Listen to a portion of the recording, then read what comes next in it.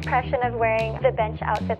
It's very comfortable, easy to wear, easy to match, and it's perfect for every day.